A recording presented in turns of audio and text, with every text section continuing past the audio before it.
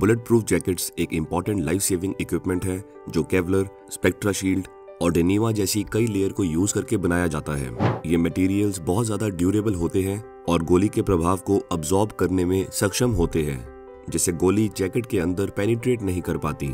Kevlar fibre light weight होने के साथ ही स्टील के कंपैरिजन में फाइव टाइम स्ट्रॉन्गर है। केवलर के अलावा वेक्ट्रन का भी यूज़ किया जाता है, जो केवलर के कंपैरिजन में भी टू टाइम स्ट्रॉन्गर है। हर बुलेट प्रूफ जैकेट में मेनली टू लेयर्स मौजूद होती हैं, जिसमें अपर लेयर को सिरेमिक और इनर लेयर को बलिस्टिक बोला जाता है।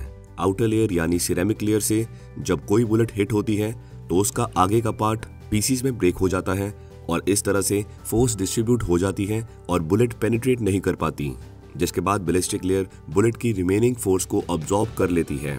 Bullet proof jackets different rating के साथ आती हैं और रेटिंग के अकॉर्डिंग ही मटेरियल यूज़ किया जाता है।